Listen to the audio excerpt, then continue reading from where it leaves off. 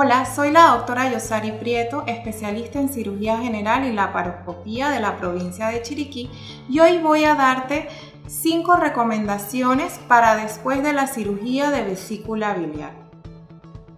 Primero que nada son los cuidados de la herida. Debes lavarte con agua y el jabón que normalmente utilizas la herida y debes secarla para evitar infecciones posteriores. No es necesario el uso de jabones medicados después de la cirugía de vesícula biliar.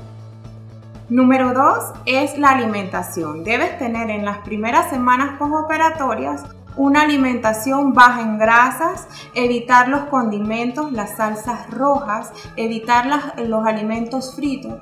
Pero lo más importante es que tengas una dieta balanceada, rica en antioxidantes, cuyo mayor proveedor son las frutas y los vegetales.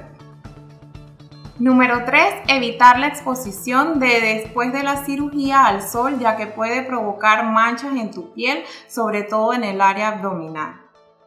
Número 4. Evitar levantar peso o objetos pesados o agacharte de forma brusca para así prevenir la aparición de hernias posoperatorias, sobre todo en los primeros 15 días posoperados.